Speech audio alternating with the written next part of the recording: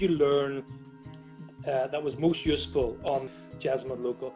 I learned absolutely loads. Um, I, I, found Jesmond Local the most useful thing I did basically at, at, uni. Just it was it was just really good reporting on proper stories. Um, yeah, I can't remember whether I did a very good job of it. Probably not, but um, it was just yeah, just obviously covering potentially quite routine things and trying to find good ways to make the, to, to make them interesting. Sometimes um, I can remember doing loads of stories about bin bin collections I can't add this. Is that, is that still good? Um, but yeah, no, I think um, so. Yeah, I can remember sort of just you, you, sort of teaching teaching us how to sort of bring those bring some sort of interesting um, perspectives to, to that sort of thing.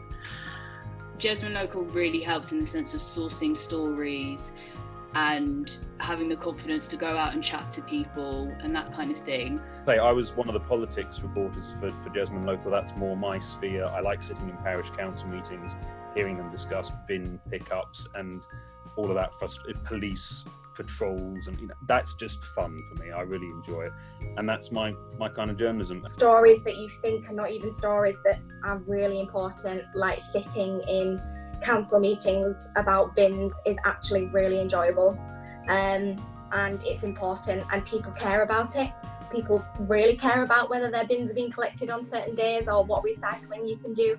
Um, so local news was really, really important. I think the best thing I did at Jesmond Local was uh, Jesmond Local Live um, because I always thought about being behind the camera, but then when you have to just be on camera. It's quite daunting. And I think uh, I was talking about birds, and there was a lot of grey tits and blue tits, and it was very funny.